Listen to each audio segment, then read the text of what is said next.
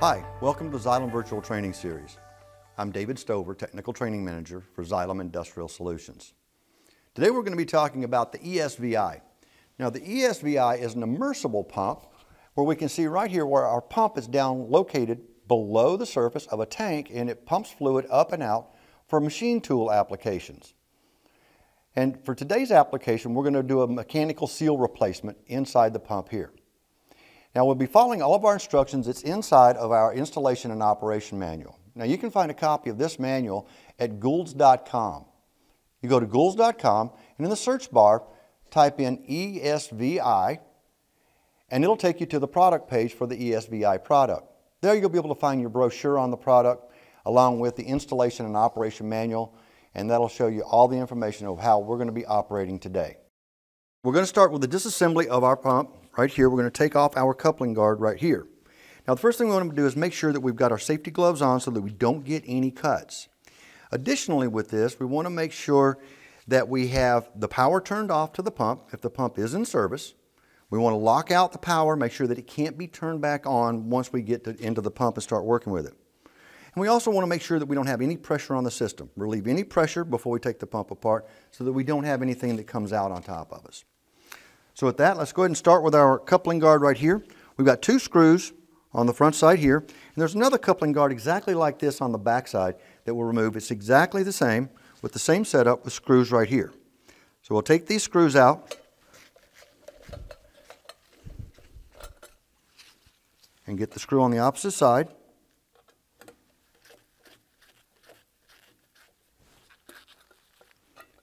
And then we can remove our coupling guard. Now here we'll see our coupling on the inside. We're going to go to the back side and remove our coupling guard back here.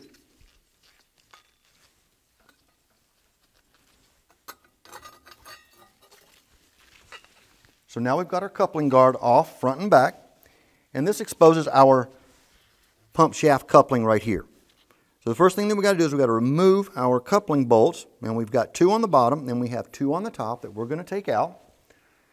And we'll reach in here and we'll loosen them up with the Allen wrench. Now if they're tight, you may end up having to go back in and utilize a ratchet that you can reach in there and break that loose and then take it out by hand. So we'll stick this in, holding the coupling in place, and break that lock. Now we've got one on the bottom that faces forward and one on the top that faces the opposite corner forward. We break that loose, spin our coupling around, and break the opposite side loose there the same way. We take the bottom corner, break it loose, the top corner, we can break it loose. Once we've got this broke loose, we can then go to our T-handle wrench here, spin this out quickly and easily.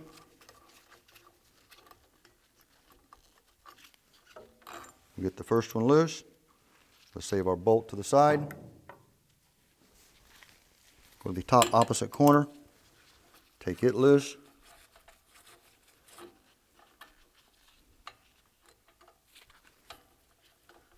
Set our bolt to the side. Turn the coupling. Get the opposite too.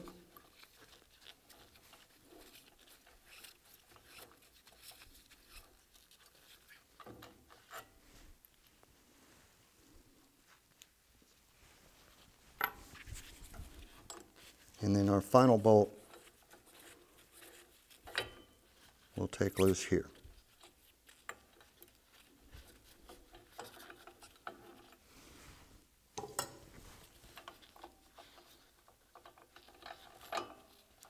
With our bolts out, our coupling then separates. We have front and back. We'll set this to the side. And then we also have a drive pin located right here on the shaft. We want to take this out and preserve it also with the coupling.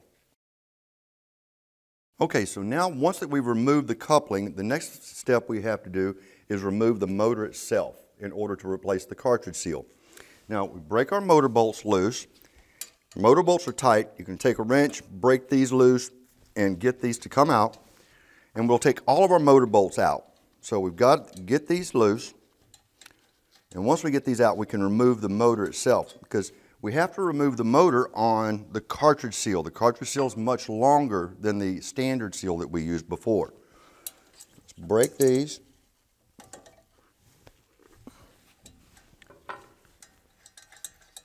So we've got four motor bolts on here. We've got two in the front, two in the back. We'll take the back bolts loose and get these out of the way. And then we can remove our motor. Okay, now that the motor bolts are out, we're going to take our motor, lift our motor off carefully, take this up, set this to the side so that it doesn't go anywhere. Now we can, we've exposed our seal chamber down here at the bottom. We can get to it a lot easier and get our seal out. So now we're going to, re we're removing the seal plate. We have to break these screws loose right here and we're going to use these to push the seal plate out.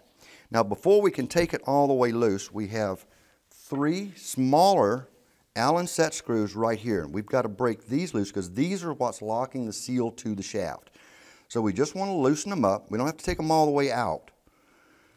And we'll get these loose. And then it will slide off the shaft with the jacking screws. Get these loosened like so. And that should be good. And now we'll finish up with our screws here. Let's take these out. So once we get our screws taken loose, we're going to move these screws to a hole right here and another hole right here. Now these will thread right into these holes and it'll push down against this plate right here. So I'm going to come in from the top, I'm going to set my screw in position, and this is going to tighten up just like this. And I'm going to do the same thing with the other screw over here. I'm going to take this one out, and we're going to move it to that other screw hole. Now we'll notice that these are directly opposite of each other, while the ones that hold the seal in position are actually in a triangular pattern. There's three screws. So it's the two that goes directly across from each other. And these thread in just like this. And you can see that go in. And as it goes down against that bottom plate, we'll see it starts to lift that seal off of that shaft. Now we want to go evenly with this because if we run one screw down all the way and we don't do the same with the other side, it's going to cause it to bind. It's going to make this, this plate right here lift on one side but not on the other. So we've got to do it equally on both sides. And these will tighten up and that's going to lift my seal up and help us to get it out of the assembly.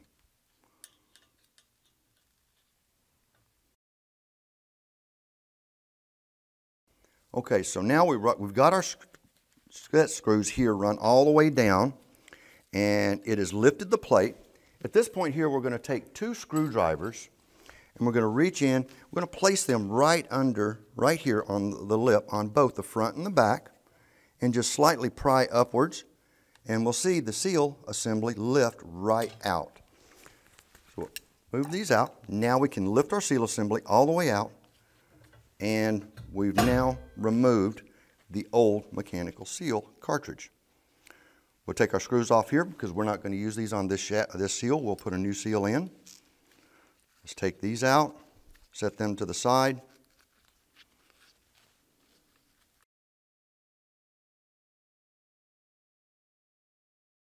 We've got our new seal cartridge. This will come in a protective wrapping. We'll take this out. We're going to inspect our seal, make sure everything is in good condition. Now what we're looking for is we're looking at this O-ring right here, around this area. We're going to inspect that, take a look at it, make sure that it doesn't have any nicks or cuts or pinch marks on there. We're going to look on the inside right here too because we have a small O-ring right here inside. We're going to take a look at that, make sure that that looks clean and there's no issues with it. So our seal looks like it's in good shape. Now you'll notice that we don't have the, the, the surfaces or the, the seal faces open, so this right here is a lot easier to work with when we start to install this. We don't have to worry about uh, messing up the seal face like we might on a traditional mechanical seal. Now before we put the seal on, we want to inspect our shaft. Make sure that the shaft is clean. We don't see any burrs, we don't see any rust or any other material in here on our shaft. So we're going to take this and look at it, clean it, inspect it. If we see anything on there, maybe we'll take a little piece of emery cloth and brush that and clean it up. So this looks like it's in good shape. And we're going to use a little bit of, of our lubricant, our P80 lubricant that we use here. I'm going to put a little bit on this O-ring right here, just so that it'll slide down into the seal housing on the top of the pump. Now we'll slide that into there, put a little bit there, Put a little bit on our O-ring in here too because again we got we got a dry seal in here on a dry shaft. We're going to bring this in from the top, set this right here, and gently push it downward onto our shaft. That slides in. We're going to go all the way down. We're going to line up our holes right here. This is our holes that, that's going to lock our seal plate down into position.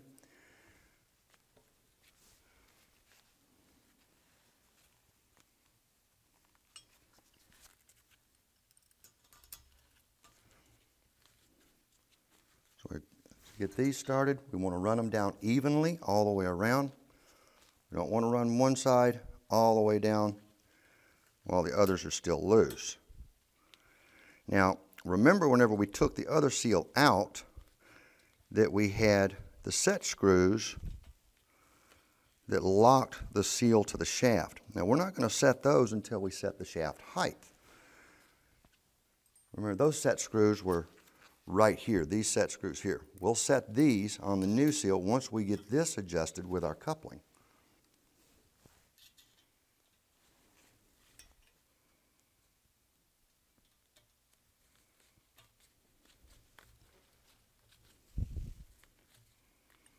Now we're tightening them up, doing it in a star pattern, go back and forth across the three, bringing it down evenly.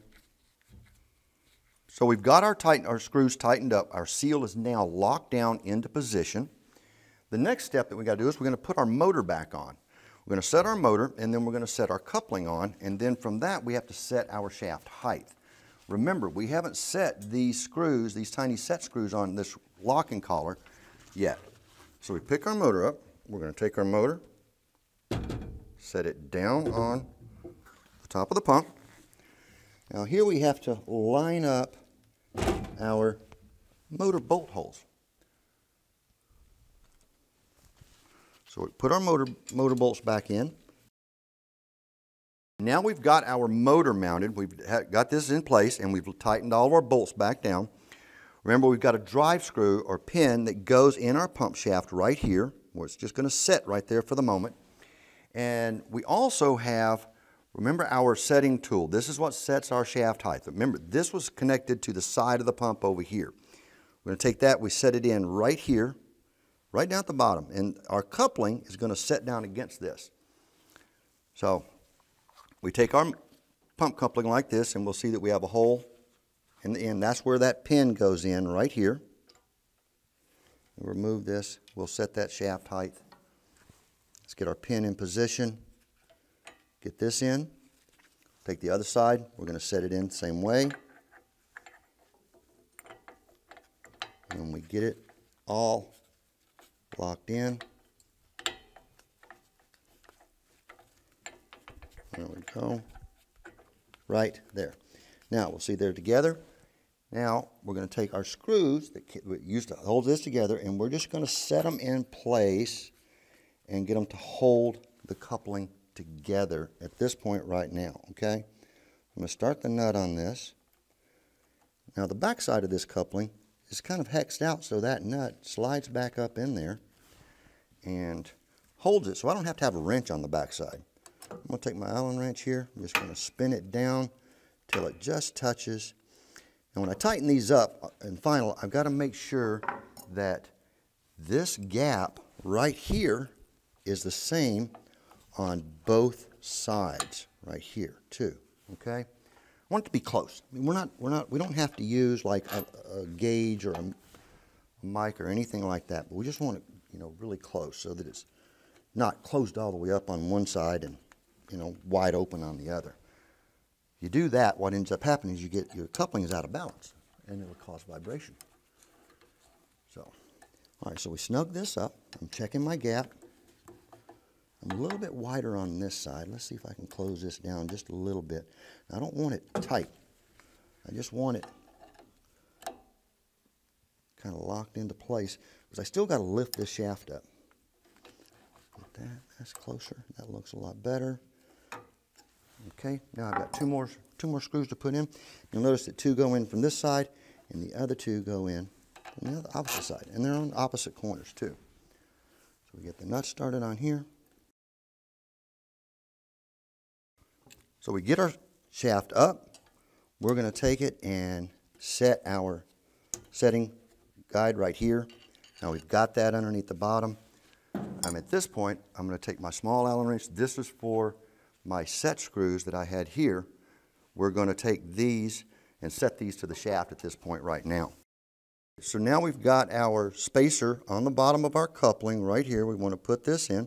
It's going to set our, our coupling at the right height. We get this into position. We're going to tighten it up.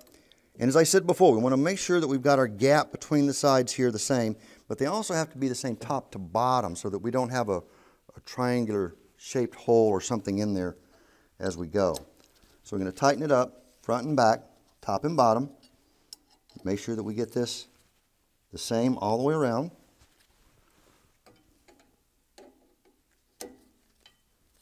This is what's going to lock into position. We're going to set our shaft up on our motor. Tighten this back down.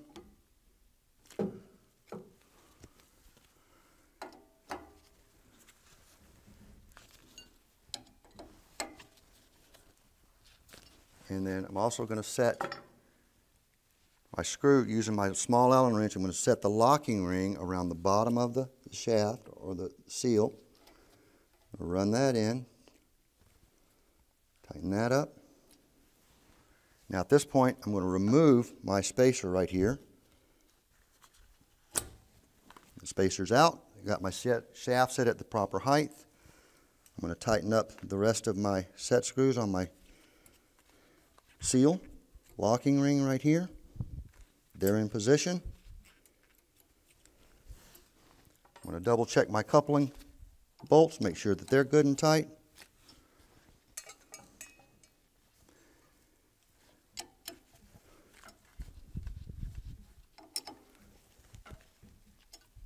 Bolts are good, my coupling's good.